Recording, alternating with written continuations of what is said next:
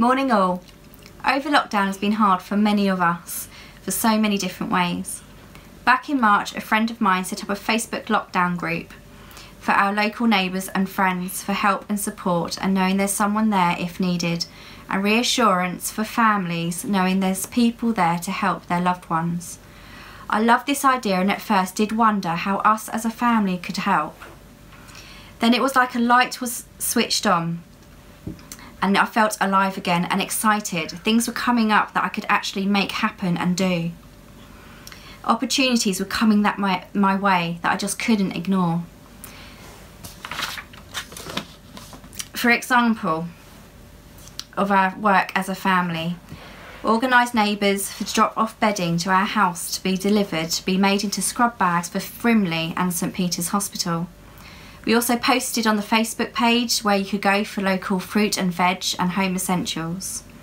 At Easter time, we went round as a family and put little chocolate Easter eggs on neighbours' fences to make them smile.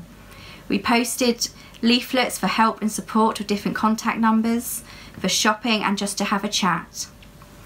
Then I arranged a team to get together and help deliver over 25 free food parcels to our vulnerable neighbours we all got so much joy out of helping others. Then I managed to arrange for the ice cream man to come and visit very excited children and gave so much joy to everyone, seeing people smile and have some kind of normal. It's now becoming a regular visit.